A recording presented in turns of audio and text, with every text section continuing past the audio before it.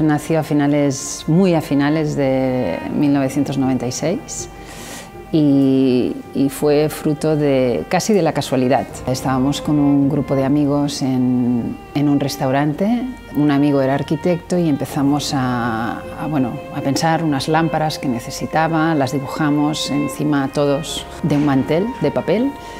Poco a poco fue tomando forma y, bueno, empecé a hacer lámparas para unos amigos, para aquel arquitecto, para otros arquitectos y así fuimos avanzando. Este fue el comienzo.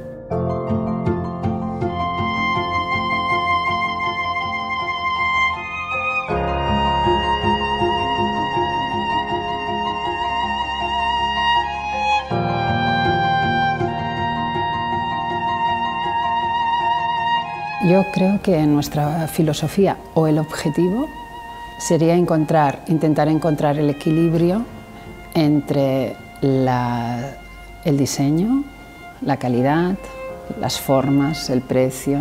Intentar que nuestros productos sean intemporales, para mí es muy importante.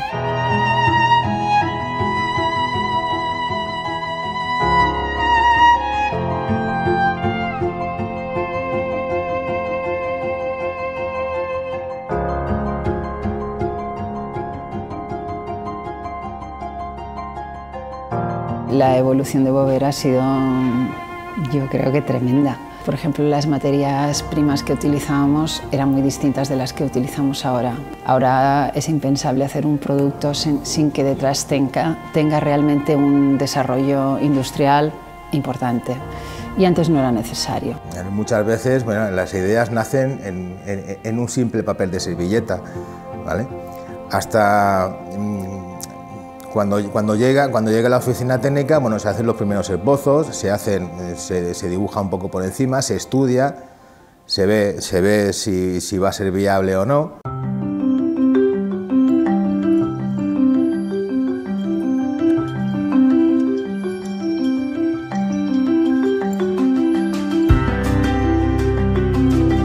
El diseño en sí es una, es una forma de expresarse. ¿no? Yo creo que realmente la figura del diseñador es, es, muy importante porque ellos son, en definitiva, quienes analizan un producto antes de que nazca. El ciudadano de a pie, ¿qué ocurre? Que normalmente no ve el trabajo que hay detrás. Tú ves un producto y ya lo ves terminado, ya lo ves en la tienda y parece todo muy fácil. Esta es una de las razones por las que en Bover defendemos los derechos de autor. Creo que en el mundo empresarial no hay fórmulas mágicas, no existen.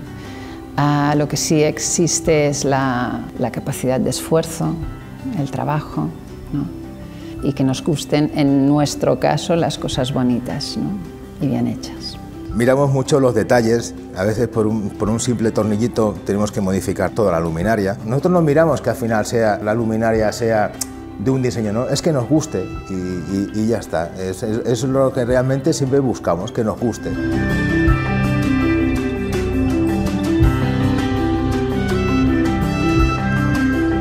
Nunca me habría imaginado que, que llegáramos al punto donde estamos ahora. Si nos ha ido bien, no es solo por el producto, yo creo que es por las personas que están en Mover, que no se ven, pero que están detrás y que trabajan todos los días para que esto sea así.